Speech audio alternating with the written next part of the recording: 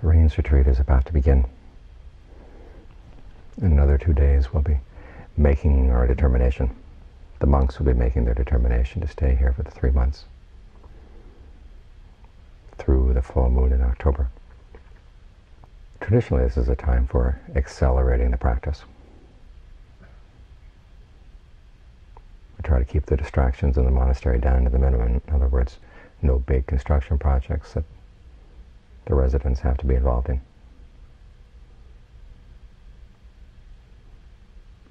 An extra time devoted to meditation, study, with less moving around.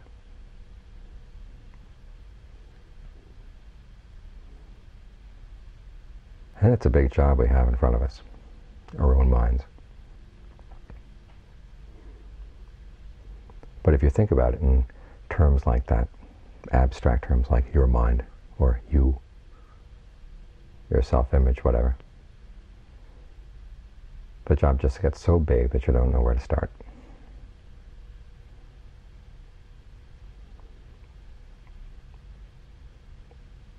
So it's best to keep your mind away from abstractions and just focus on what's actually there for you to notice, right in front of your eyes.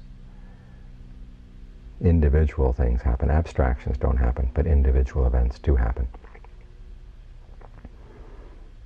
And it's in attacking the, the problem of suffering on the level of individual events. That's how it can be taken apart, piece by piece, bit by bit.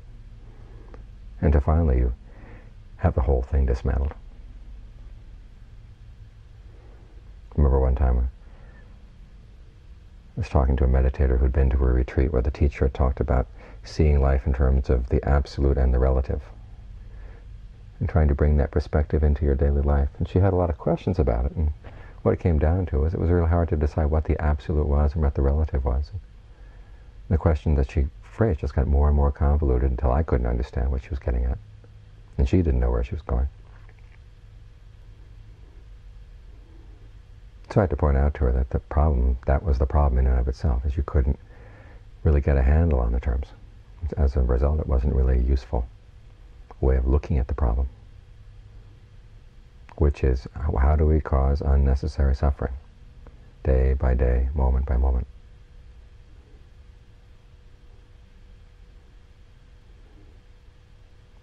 And because it's a how question, it's a question of skill. How do you be, how do you look at things? How do you focus on things? How do you deal with things? How do you act? How do you speak? How do you think? In ways that cause suffering, then how do you do it in ways that don't cause suffering? If you were to break the Buddha's teachings down into their really most basic concepts, that's what it comes down to, a question of skill and lack of skill.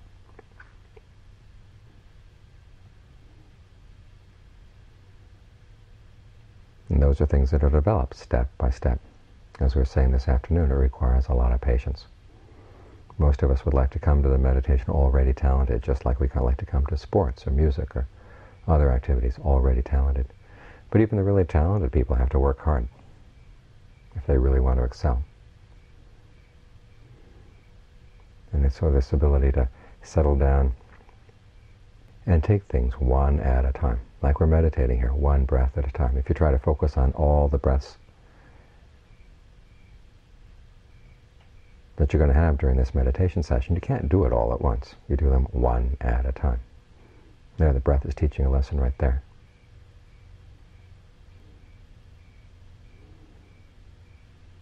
How do you relate to the breath in a way that brings added comfort to the body? Again, you have to take it one breath at a time. If you start getting mechanical about the ins and outs, and trying to force it into a preconceived pattern, you miss everything that you're going to learn in the meditation. You have to take it one breath at a time. Be really sensitive to how the needs of the body change, sometimes from breath to breath. How sometimes you need long breathing, sometimes followed by a short breath, followed by a, a medium breath, deeper breath, and a more shallow breath. And how are you going to learn these things? By taking the time to notice and getting a sense over time of what works and what doesn't work. The same holds with any of the events that come up in the mind. we deal with fear and we'd like to deal with it once and for all. Well, it comes back. Okay, when it comes back, is it coming back in the same way or is it coming back in a different way? Because fears, even though they do have a kind of general pattern to them, they also have their individuality.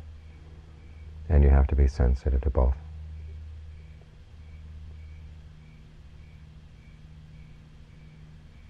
And that sensitivity comes from just having a lot of experience, really paying a lot of attention to each and every breath as it comes. Each and every mental event as it comes. And you can put the two together. When anger comes, notice how your breath is affected by it. When fear comes, when lust comes, how is your breath affected? How is the way you hold the body? How are the patterns of tension in your body affected by these mental events? There's something to learn and observe right there. Because right there lies one of the keys to how you can get around those events and not be affected by them. If you can breathe in a way that maintains a normalcy of breath energy in the body. It helps you to step outside of those thought patterns, outside of those emotions. So you don't feel swallowed up in them, and so you don't feel like you've got to get them out in your actions.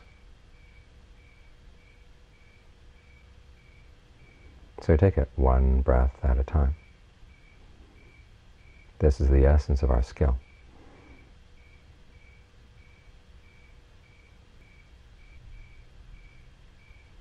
The Buddha once boiled his major teachings down to the 37 wings to, to awakening. And as Ajaan Lee noticed, each, all of those is related to the way you breathe. Everything is kept close to the ground and a lot of not a lot of big abstractions. You don't have to worry about where the universe comes from or where it's going. Because when you come right down to it, those are pretty irrelevant issues. What does it matter whether there was a Big Bang or was a steady state universe or all those other things that people get themselves worked up about? What matters is what you're doing right now. It's not like experience is some novel that's already been written that you're just sitting here looking at, reading passively. You're shaping it right now, every time you make a choice, every time you make a decision, from moment to moment. So you want to be able to see things moment to moment.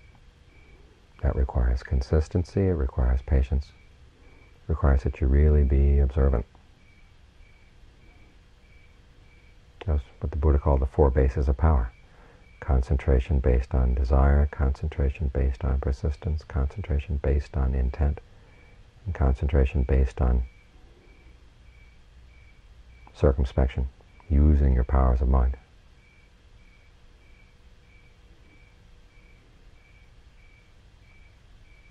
Get the desire has to be there. You have to realize, okay, this is an important job we're doing. And even though it may seem enormous, you can take it apart. And you realize it's something you've got to face. You can't run away. Running away from it doesn't solve the problem. It just hides it for a while, but it keeps coming back, coming back. Do you want to have to turn around and face the problems of your desires and your, your greed, anger, and delusion when you're sick, when you're dying, when you don't have much energy to deal with anything at all? Or would you rather do it now, when you've got the energy?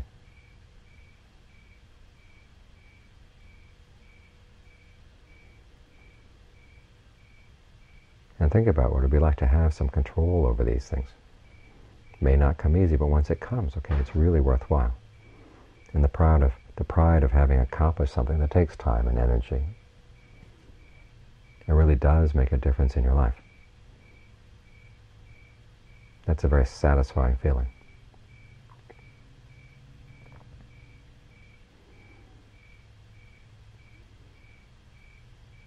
So try to base your concentration on that desire to deal with the big issues in life and not run away. Base your concentration on persistence, this ability to stick with things. And again, we tend to think of persistence just as sort of gritting your teeth and bearing with it, but that's not what it is. It's, it requires seeing what needs to be done right now, right now, right now, sticking with it step by step by step, breaking it down, and learning how to encourage yourself along the way.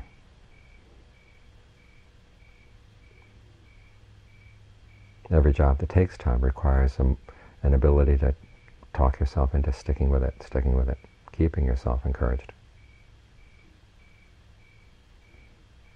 So try to develop that mental habit. Instead of listening to the voice that says, ah, enough, I'm going to give up. So listen to the voice that says, hey, come on, you can do it just a little bit more, a little bit more.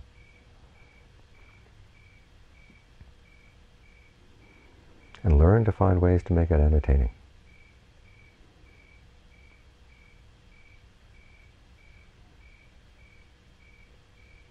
Start playing with the breath. You realize that's just what you're doing. You, start, you have something to play with. See what long breathing does for a while. See what short breathing does for a while. There are lots of different places to focus. See how your sense of your body changes simply by the way you breathe. Or how the way you experience the breath changes by the way you imagine the breath. What mental pictures you have.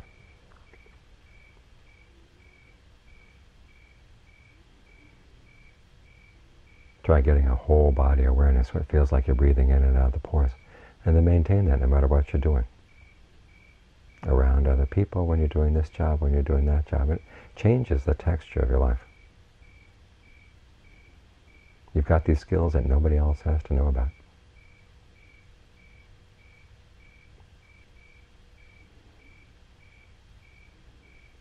Develop concentration based on intent. What intent means here is that you give your whole attention to what you're doing. Again, you don't just go through the motions, you really try to be sensitive, really try to be alert. Learn about the breath. A lot of cause and effect patterns going on here. When a mood comes up, where does it come from? Does the breath affect the mood? Does it bring it on sometimes? Because sometimes it's not just the mood affecting the breath, sometimes the breath brings on the mood. Well, look for that. See how that happens.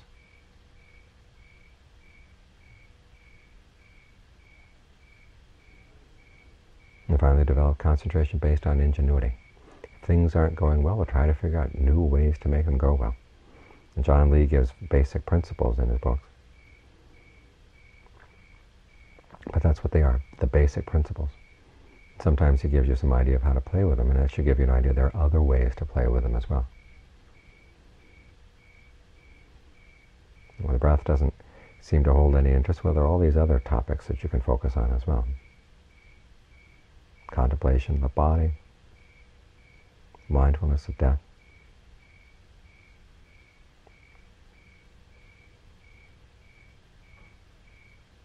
Goodwill meditation, starting with goodwill for yourself.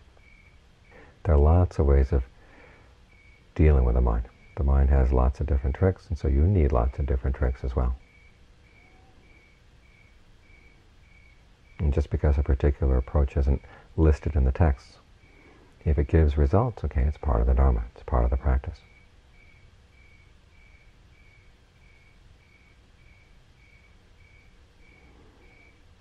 So when you're sitting out under the trees, sitting in meditation, it's not like you're left to your own devices. It is something you have to do for yourself, but there are all these tools. All the Buddhist teachings, all the approaches for meditation to help you deal with the big problem in life. The fact that the mind is creating suffering when it doesn't have to.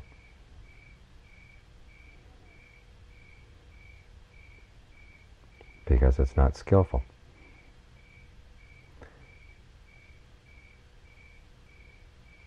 Skill is not something innate in people. It's something we develop, we work on. And we don't go from being totally unskilled to being totally skilled. It's a gradual process.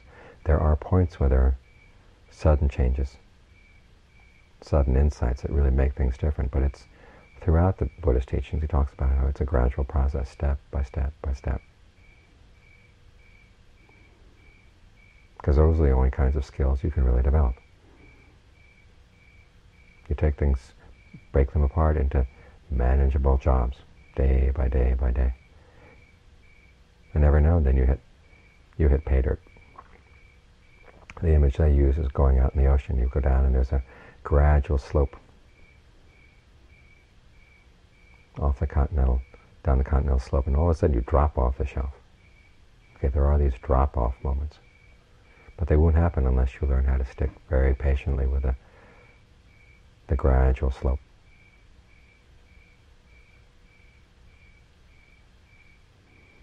So develop whatever, pick up whatever tools you need to help with that gradual process.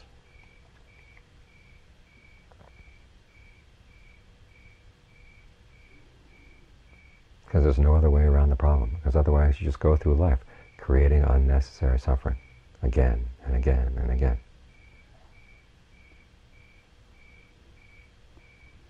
You have to ask yourself, if you don't do it now, when will you do it? When you get older? If you don't do it, no one else can do it for you. Each person's skill is something he or she has to develop through his or, own, his or her own efforts. So you've got the opportunity now.